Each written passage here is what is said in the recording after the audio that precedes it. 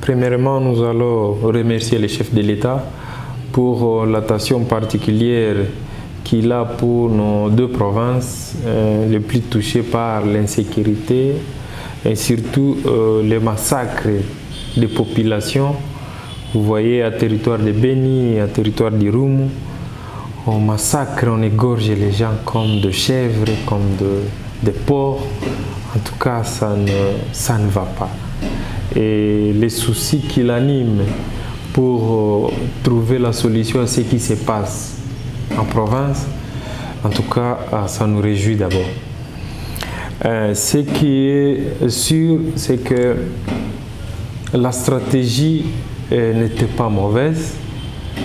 L'état des sièges, c'était une stratégie qui euh, peut-être pouvait trouver une solution. Malheureusement, ça a été mal appliqué et ce n'est pas adapté. Vous avez vu, c'était en 2019 que nous avons commencé à fustiger ce qui se passe, s'est passé ici en province de Nord Kivu.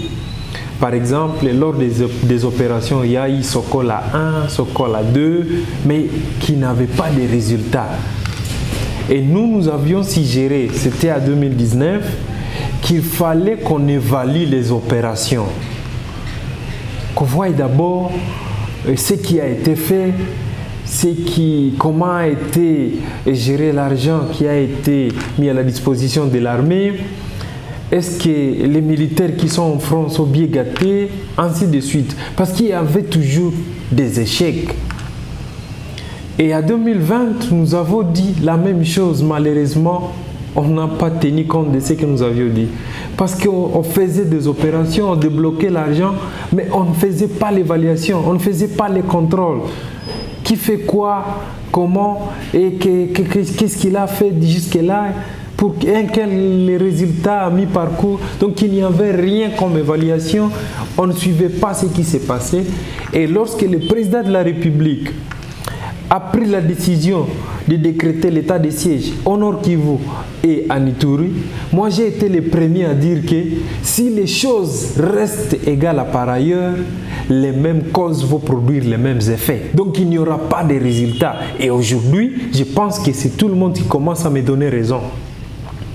Les problèmes des opérations se trouvent en sein de l'armée. C'est-à-dire? C'est très clair. Imaginez-vous, on vous dit on décaisse 33 millions de dollars. Mais sur les 33 millions de dollars qu'on décrète pour les opérations dans les provinces où il y a état de siège, seulement 8 millions sont arrivés à destination. Mais, mais honorable, ce sont. Certes, on va y arriver, on va parler aussi de ces, points-là. Euh, quand vous dites qu'il y, a, certes, on sait que le gouvernement central a débloqué de l'argent, mais aujourd'hui, on parle ici des réseaux sociaux. Les réseaux sociaux parlent qu'il y aurait des tournements. Mais jusque-là, on ne sait pas si ces fonds réellement été détournés. Mais c'est détourné. Vous avez suivi le chef de l'État vous-même quand il était à Bounia.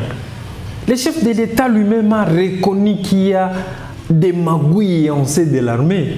Vous voulez qu'il parle par quelle langue pour comprendre qu'il disait réellement qu'il y avait un problème de détournement des fonds? Et ce n'est pas, ce n'est plus un secret. Il y a plus au moins 25 officiers qui ont, qui ont, qui ont arrêté. À Bounia, on a arrêté. À Beni, on a arrêté. À Goma, on a arrêté. À Kinshasa, on a arrêté. Je vous dis, c'est déjà clair. C'est déjà clair qu'il y a la magouille en sein de l'armée. Ça, c'est le premier problème qu'on a en sein de l'armée. Deuxième problème, il y a un problème d'effectif en sein de l'armée. On parlait de 21 000 militaires, mais sur terrain, c'est moins que ça, moins de 10 000 d'ailleurs. Et le chef de l'État l'a dit aussi à Bounia qu'il y avait un problème d'effectif. Et nous, on était en train de le dire avant, mais on ne nous comprenait pas. Ça, c'est le deuxième problème que nous avons au sein de l'armée. Nous avons également maintenant la motivation des militaires qui sont aux opérations. Parce que l'argent est détourné, l'argent n'arrive pas à destination, les militaires ne sont pas bien nourris, les militaires ne sont pas bien soignés. Si tu es militaire, par exemple, j'étais à vacances parlementaires, je, me suis, euh, je suis arrivé à Ben et je vis de militaires là-bas.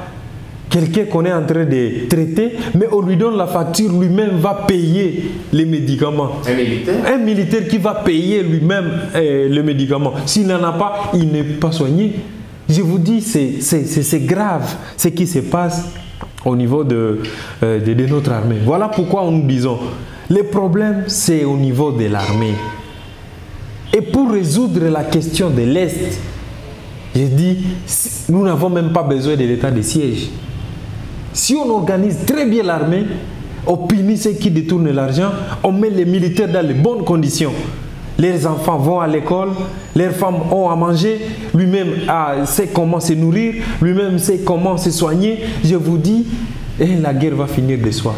Mais je vous dis, les militaires souffrent beaucoup au niveau euh, des fronts. Voilà pourquoi nous disons que les problèmes, ce n'est pas l'état des sièges, les problèmes ne sont pas les politiciens, les problèmes se trouvent au sein de l'armée.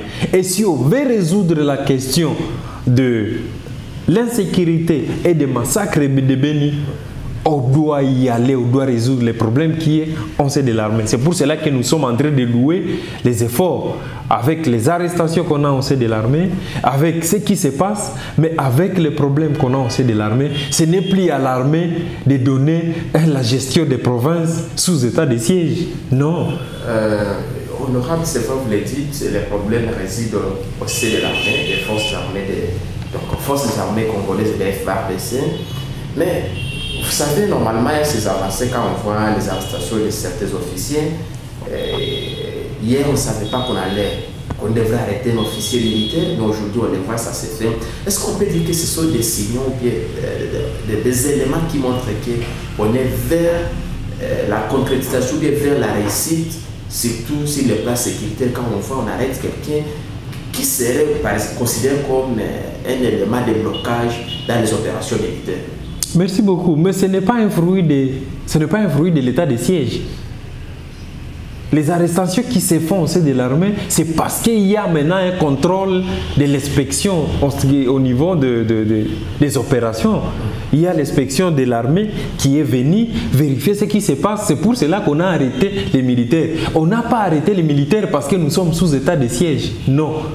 Donc ce sont des choses qui sont contraires. Donc même s'il n'y avait pas état de siège et qu'il y avait un contrôle, il y aurait toujours des arrestations parce qu'il y a des faits. Ça, c'est la première précision. Deuxièmement, je pense que nous tendons vers la solution, bien sûr, parce qu'il faudra qu'on réorganise l'armée. Mais comment trouver une solution? Il ne faudra pas qu'on puisse surcharger les militaires. Voilà pourquoi nous sommes en train de dire qu'on doit mettre fin à l'état de siège. Parce que si ce sont les militaires qui sont aux affaires, ils vont s'occuper des affaires autres que la sécurité. Vous avez vu à Goma, il y a eu éruption. C'est lui qui s'est occupé de ça, c'était le, gouverneur militaire.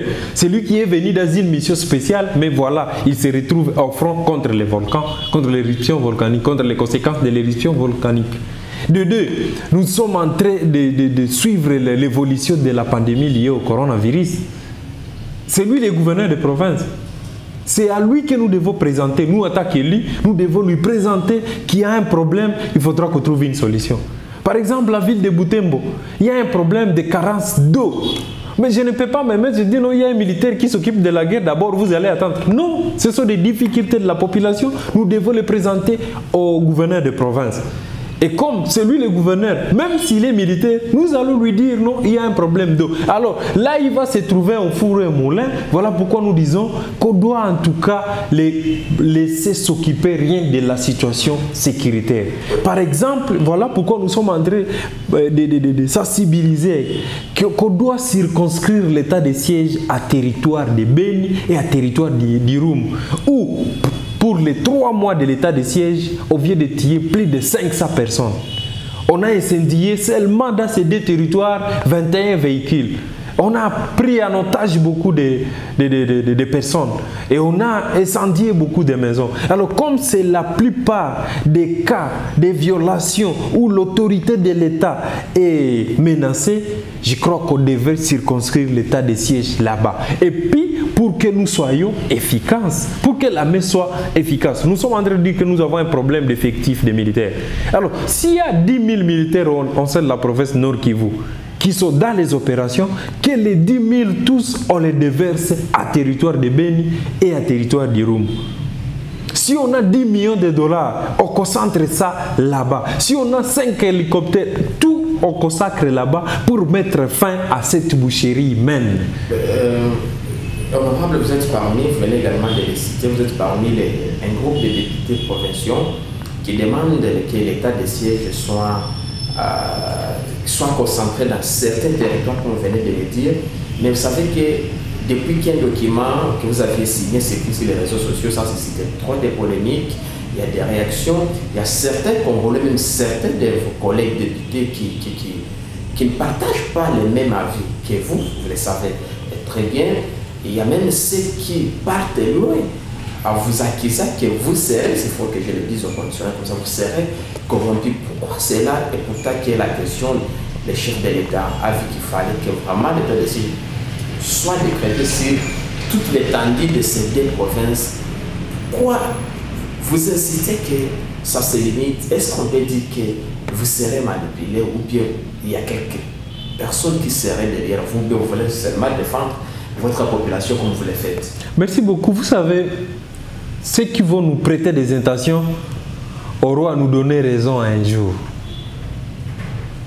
Je dis, avant que l'État ne siège ne soit là, moi j'avais montré au chef de l'État que la stratégie de l'État de siège n'était pas adaptée. Parce que les problèmes, ce n'était pas les problèmes des politiciens. Parce qu'on a mis en veilleuse les, les, politiciens. On a donné les pouvoirs aux militaires. Mais jusqu'à 90 jours, aujourd'hui, je vous dis, pendant les trois mois, on a tué 500 personnes. Mais il y a des mots quand même, vous ne pouvez pas ignorer certaines avancées. Mais c'est ce que nous disons. Nous disons que jusqu'à preuve du contraire, il n'y a pas d'avancée. Parce que même les rendis, on est en train de dire qu'il y a des personnes qui se sont rendues, les groupes armés. Les groupes armés. Oui, mais vous voyez, avant que l'état de siège ne soit là, il y avait des rendis à Mubambiro. Il y avait des rendis à Kabacha. C'était pas comme à... Non, c'était plus que d'ailleurs ce qui est là. Aujourd'hui, c'est une ce sont des centaines. Mais avant, c'était beaucoup de gens. Le problème, c'était quoi? C'est parce qu'il n'y avait pas la prise en charge de ces gens-là. Mais aujourd'hui, nous disons très bien, on est en train de traquer les, les, groupes armés, mais il y a aussi un programme qui vient d'être installé. J'ai appris qu'on a mis même les, les animateurs. C'est déjà un élément important. Ça, ça va aider à résoudre euh, au moins à un niveau quelconque. Mais nous disons que pourquoi nous disons qu'il faut circonscrire l'état de siège à Béni c'est pour permettre à ceux qu'on mette fin à la boucherie humaine.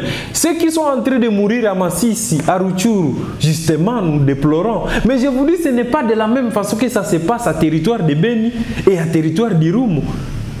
Où pendant trois mois, on tue 500 personnes. Mais allez voir dans quel territoire on a tué autant de gens comme à Beni. Voilà pourquoi nous disons, pour que nous soyons efficaces, Concentrons les efforts, mettons fin à la, à la boucherie humaine qui se passe, qui est à Beni et à, et à. Et à, à Nirum.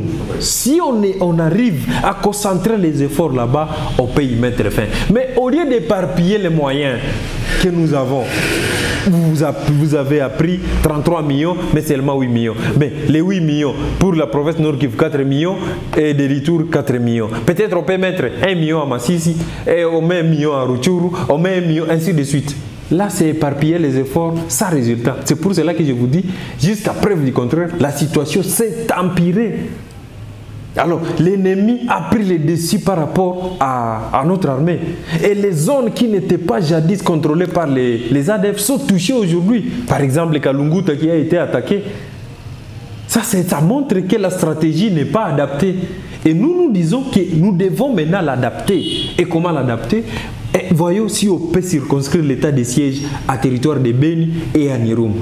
Si on arrive à maîtriser là-bas, le programme DDRC peut résoudre ce qui se passe à Massisi, peut résoudre ce qui se passe à Ruchuru, peut résoudre ce qui se passe à, à. Mais le programme DDRC ne peut pas résoudre ce qui se passe à Beni où on égorge les gens, les gens sont animés par je ne sais quel démon. C'est pour cela que l'État a la responsabilité. Nous nous disons, comme les trois mois, l'État de siège a échoué, est-ce qu'on peut réadapter ça? Maintenant, on réfléchit. On laisse les militaires se concentrer rien pour les opérations. Et pendant les temps. Et comme on a compris qu'il y a détournement au sein des, des FRDC, il y a un problème d'effectifs, mais trouvons la solution à ces problèmes-là et je vous dis, on aura la solution. Et, et pensez-vous qu'on va aller jusqu'à quand? Avec cet état de siège On voit des prolongations, on a déjà la, pour la cinquième fois ça a été validé. Pensez-vous que ça va aller jusqu'où? Et pourtant, vous déplorez euh, avec un bilan que je peux dire que vous jugez un peu sombre. Oui, moi je pense que nous sommes en, train de montrer, nous envoyons les éléments aux députés nationaux pour montrer la réalité de ce qui se passe sur terrain. Parce que là, au niveau de Kinshasa, le bilan est positif et c'est tout le monde qui le dit. Alors que nous qui sommes sur terrain, nous voyons qu'il n'y a rien d'avancé. D'ailleurs, la situation s'est empirée, je vous dis. Pendant trois mois, on n'a jamais tué 500 personnes. Jamais. On n'a jamais étendu 21 euh, véhicules. Mais aujourd'hui, ça se passe. Et le, tronçon qui était sécurisé avant, quelqu'un qui était facilement Boutembo pour Bounia, ça a beaucoup de difficultés. Mais aujourd'hui, je vous dis, c'est devenu compliqué. Maintenant, Boutembo est enclavé. Boutembo est enclavé maintenant, on ne sait pas comment euh, les gens vont vivre. Béni, n'en parlons même pas. Euh, venez un peu de, parler sur la situation de Béni, mais il y a surtout les Congolais qui nous suivent, euh, ceux qui ne vivent pas, ceux qui ne vivent pas la situation que nous vivons ici au Nord Kivu, quand ils suivent comment euh, Béni est toujours attaqué, comment les gens sont massacrés. Certes, il y a ceux qui parlent un peu de la politique, une question un peu politisée, mais réellement honorable, vous êtes un fils de cette province, vous êtes un élu du Nord Kivu, précisément à Boutembo. Pour les Congolais qui nous suivent dans la diaspora par exemple, et d'autres personnes qui nous suivent à l'étranger, ces Congolais se posent trop de questions. Ils veulent savoir ce qui se passe concrètement. Loin de dire qu'on sait, on parle des ADF, les présumés rebelles ougandais qui tirent à Béni. Mais qu'est-ce que ces Congolais-là ne, savent pas que nous, peut-être, si je peux le dire, fils du nom qui vous, nous essayons encore de cacher. Peut-être même les chefs de l'État ne maîtrisent pas ce qui se passe à. Pourquoi c'est ma Béni Vous savez, les détails par rapport à celui qui tue, les détails par rapport à celui qui commet les massacres intéressent moins la population.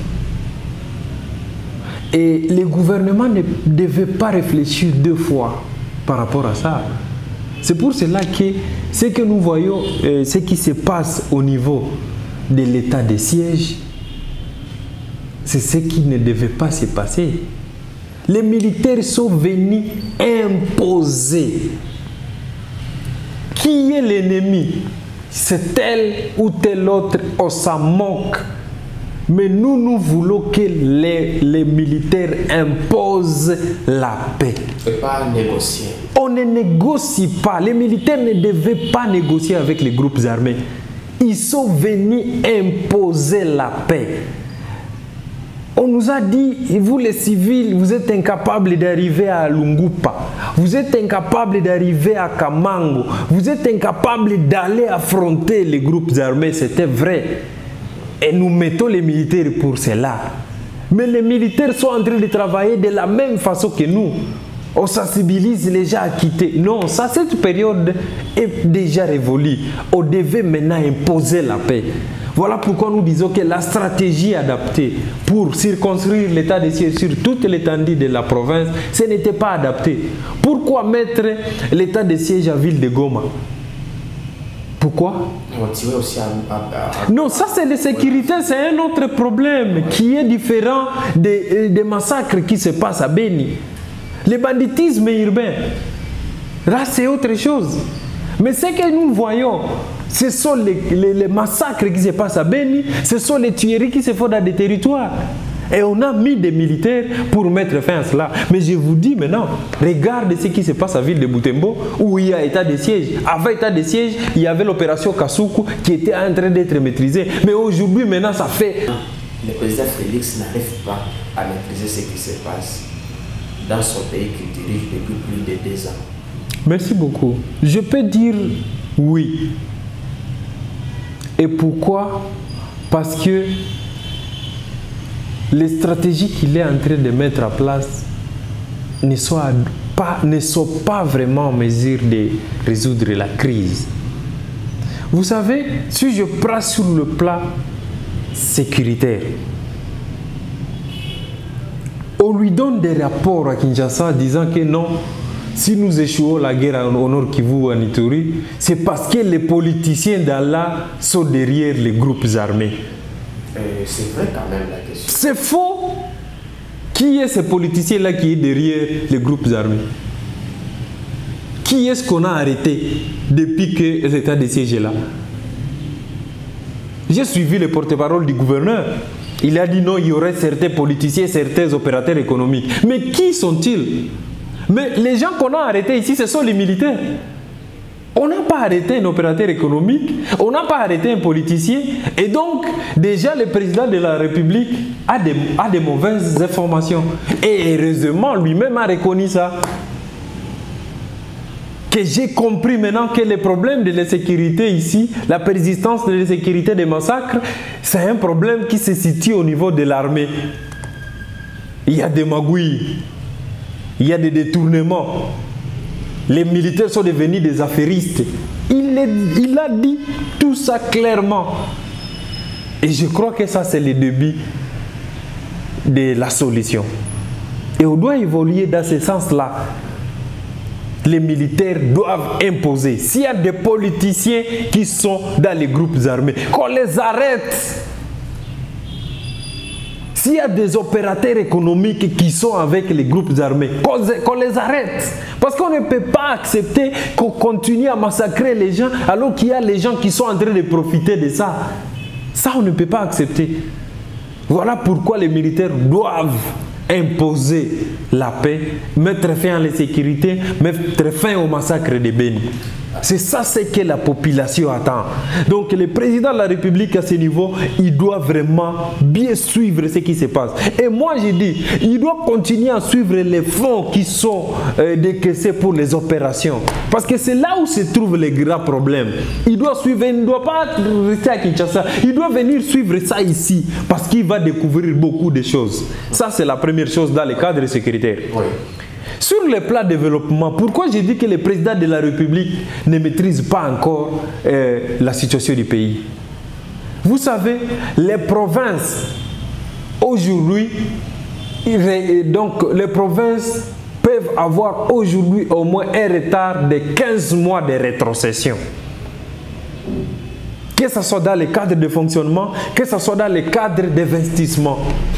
Et vous croyez comment vous allez résoudre des problèmes dans des provinces si vous ne rétrocédez pas l'argent aux provinces?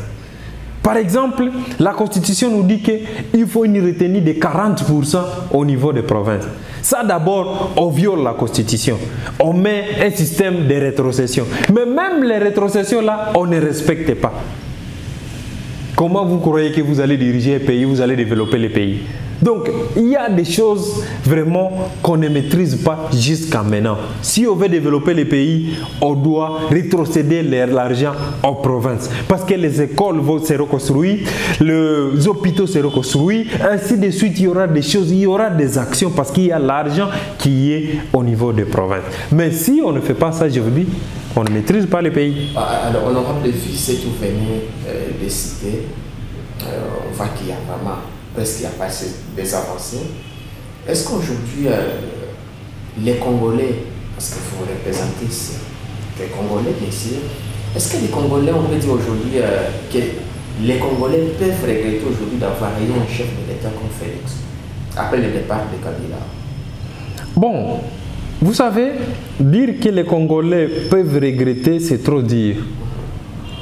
En dehors de tout ce que nous sommes en train de dire, la population avait aussi besoin des changements, d'alternance. Quand on parle d'alternance, on voit les individus. Il y a eu le président Kabila qui est parti, il y a maintenant le président Tshisekedi qui est aux affaires. Et vous savez de la manière où les élections se sont euh, passées, comment on organisait les élections. Vous savez, lorsqu'il y a alternance, il y a quand même de nouvelles énergies, il y a de nouvelles idées, il y a de nouvelles façons de faire qui arrivent. Aujourd'hui, nous pouvons quand même féliciter à un niveau quelconque euh, le président Tshisekedi par rapport à l'autonomie ou à l'indépendance de l'IGF. Grâce à l'IGF, il y a quand même les recettes qui augmentent, ce qui n'était pas le cas avant. avant. Pendant le régime de Kabila, l'IGF était comme s'il n'existait pas. Mais aujourd'hui, l'IGF est là-bas et l'IGF peut faire quelque chose. Et donc ça, c'est un pas. On ne peut pas dire que c'est zéro, mais ça, c'est quand même un pas. Deuxièmement, je dis, après Félix Tshisekedi, il y aura un autre qui va venir avec de nouvelles idées. C'est pour cela que la Constitution donne le temps de faire eh, l'alternance. Donc la population est libre de dire non. En tout cas, le président Tshisekedi, en tout cas, n'a pas, ah, n'a pas satisfait à nos demandes. Nous pouvons mettre un autre. C'est des droits, c'est les pays. Donc la population aujourd'hui n'a pas encore vu les changements. Et même nous, les députés, nous sommes victimes de cela. Parce que nous sommes ici, nous plaidons pour qu'on euh, puisse résoudre les problèmes de la population. Et la population qui ne voit pas de changement, et nous aussi, nous devenons menteurs par rapport à, la mission qu'on nous assigne. Parce que lorsque nous présentons un problème, il faut que le gouvernement arrive pour résoudre ces problèmes-là. S'il n'y a pas de résolution de ces problèmes, c'est que nous devenons aussi menteurs. Euh, le bilan de Tshisekedi, d'ici 2023, sera partagé avec Katumbi, vous soutenez Katumbi parce que vous êtes de son parti politique. Vous craignez que cela baisse vous en 2023, comme vous venez de dire, d'ici là, quand vous êtes devant euh, votre population, prennent comme des menteurs. Vous avez une crainte que cela pèse sur vous parce que vous avez soutenu Tshisekedi dans l'Union sacrée. Vous savez, il faut faire la part des choses. Nous avons soutenu le président Tshisekedi pour qu'il ait donc qui est la plénitude du pouvoir. Le président Tshisekedi a montré qu'il avait des problèmes, il avait des difficultés, il a été humilié par les gens du FCC, il a, il a, il a. Nous sommes partis là-bas au nom de la République et non pas pour soutenir qui que ce soit. Nous sommes partis là pour soutenir la République, pour sauver l'honneur de la République, pour laisser le président Tshisekedi libre de faire tout ce qu'il peut pour résoudre les problèmes de la population. C'est pour cela que lorsqu'il a fait son gouvernement, il a fait son gouvernement seul. Il a contacté, il dit, bon, j'ai besoin de quelqu'un, est-ce que vous pouvez me donner quelqu'un qui peut devenir mon ministre? Ah, très bien, ok. Je vous donne quelqu'un qui peut vous aider dans votre travail. Et il est libre de révoquer qui il veut. Maintenant, ici, on ne peut pas dire non parce que c'est quelqu'un qui a été donné par Moïse Katumbi. On ne peut pas les chasser du gouvernement parce qu'il ne travaille pas. Non. Donc, ça, ça ne peut pas s'expliquer, dire non. Les bilans des... de, le bilan 2019-2023, c'est un bilan de, partagé entre Moïse Katumbi. Non, non. Moïse Katumbi, c'est pour l'IDPS et le président Tshisekedi. C'est eux qui dirigent le pays. Si un ministre de, de Moïse Katumbi qui ne travaille pas bien, qu'on les chasse, qu'on ne trouve pas un motif de dire que non, il y avait un ministre de Moïse qui ne nous a pas permis de bien travailler. Non. C'est lui qui dirige le gouvernement, c'est le président de la République, c'est lui le chef du gouvernement. C'est l'IDPS qui doit défendre les bilans. Nous, nous pouvons lui leur donner des conseils, mais ce sont eux qui ont la décision ultime. Ce n'est pas Moïse, le bilan de 2023, ce n'est pas le bilan de la coalition. Non, c'est le bilan de l'IDPS. Merci honorable. Nous sommes presque à la fin de cet entretien. Je sais qu'on aura un moment peut-être de revenir sur ces sujets aussi qu'on en parle de la situation politique au pays. Mais pour finir par rapport à notre sujet principal, c'est l'état de siège, en dernier mot, quel message vous pouvez lancer au chef de l'État par rapport à ce que vous, vous maîtrisez, vous connaissez au niveau de la province euh, qui va dans le sens de l'état de siège. Merci beaucoup. Les messages restent les mêmes. Heureusement, le chef de l'État a compris. Le chef de l'État a compris le message. Il a compris qu'il y avait un problème au sein de l'armée. Il a compris qu'il y avait des détournements en sein de l'armée. Le chef de l'État a compris qu'il y a un problème d'effectifs en sein de l'armée dans les opérations.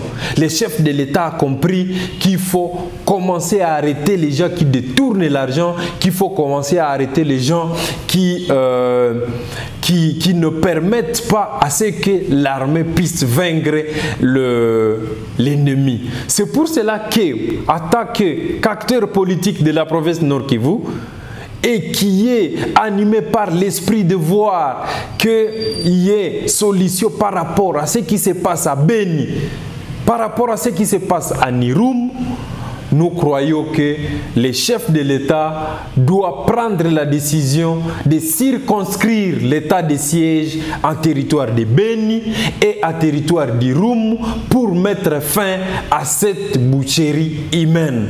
Pourquoi cela? Parce que lorsqu'on va concentrer les efforts à territoire de Beni, à territoire d'Irum, on va mettre tous les militaires disponibles là-bas, on va mettre tout l'argent là-bas, on va mettre toute la logistique là-bas, on va mettre les efforts là-bas, les militaires seront bien payés et il n'y aura plus de détournement d'argent, il n'y aura plus de quoi. Je vous dis que cette situation peut se résoudre même en un mois. Donc, je pense que le chef de l'État doit prendre le courage de prendre cette, décision parce que là, circonscrire ça sur toute l'étendue de la province, c'est éparpiller les moyens, mais aussi c'est embrayer les militaires qui doivent s'occuper rien que de la sécurité, ils doivent maintenant s'occuper par la, de la pandémie, de la reconstruction, des problèmes d'eau. Alors nous devons décharger les militaires et concentrer les efforts à Beni et à Nirum la situation est complexe. Et nous saluons la nomination des acteurs